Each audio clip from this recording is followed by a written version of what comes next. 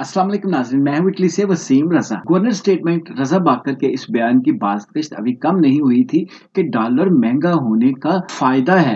कि मशीर खजाना शौकत तरीन ने कह दिया है कि दुनिया में सबसे सस्ता मुल्क पाकिस्तान है। इस वक्त जब पाकिस्तानी को महँगाई की चक्की में बुरी तरह पिस रही है, इस तरह के बयान से लगता है कि गवर्नर स्टेट बैंक और मशीर खजाना पाकिस्तानी अवाम को बेवकूफ़ बना रहे हैं। इन बयान की हकीकत क्या है? आइए इस पर बात करें। Governor State Bank Raza Baqir ने बरतानिया में प्रेस कॉन्फ्रेंस में कहा था कि डॉलर महँगा होने का सबसे बड़ा फ़ायदा ये है कि जब आप उनको रुपयों में चेंज चेंज करवाते हैं तो आपको ज़्यादा पैसे मिलते हैं, जिससे आवाम को अपने अखराज पूरे करने में आसानी हो। इस अजीबो गरीब बयान पर उन पर सख्त तनकीद हुई। अब शौकत तरीन का ये कहना कि पाकिस्तान दुनिया का सस्ता तरीन मुल्क है, इस पर भी आवाम को शदीद हैरत हुई है। वफाकी वज़ीर हमाद अजहर के हमरा प्रेस कॉन्फ्रेंस करते हुए शौकत तरीन का कहना था कि हमारी आमदनी कम है, लेकिन अब जो तकाबली जायजा आया है, इसमें पाकिस्तान दुनिया का सस्ता सस्ता तरीन मुल्क है तेल की कीमतों के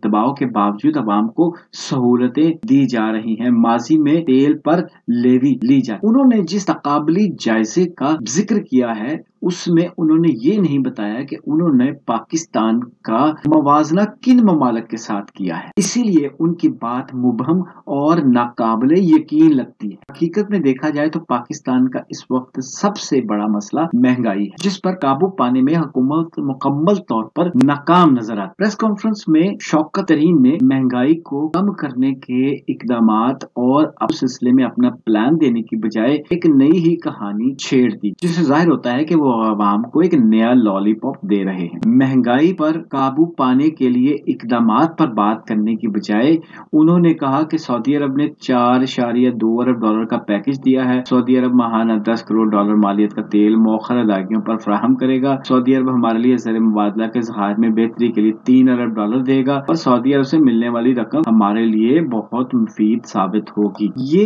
हकायक तो है, लेकिन महँगाई के तनाजुर में ये बातें इरालीवेंट लगती हैं जब उनसे आईएमएफ के हवाले से पाकिस्तान की जो बातचीत चल रही है, उस पर सवाल किया गया तो उनका कहना कि मैं इस मुआदे की ज़्यादा तफसील नहीं बता सकता। हालाँकि अपोजिशन लीडर ने कहा है कि आईएमएफ के साथ मुआदे में जो तफसील तय हुई हैं, वो पार्लियामेंट में लाई जाए आईएमएफ के साथ जो बातचीत चल रही है, उसके हवाले से अलबत्ता उन्होंने ये ज़रूर बताया कि आईएमएफ के साथ असूल और पॉलिसी सतह के मुजाकर होते हैं। आईएमएफ के साथ मुआदे के करीब पहुँच चुके हैं। आईएमएफ प्रोग्राम का मार्केट में मस्बत असर आएगा। पाकिस्तान को दुनिया का सस्ता तरीन मुल्क करार देने के हवाले से शौकत तरीन की जो राय है, उससे आप इतफाक करते हैं या नहीं, कमेंट्स बॉक्स में इसका इजहार ज़रूर करें। अब तक के लिए इतने, अपना ख्याल रखिएगा। अल्लाह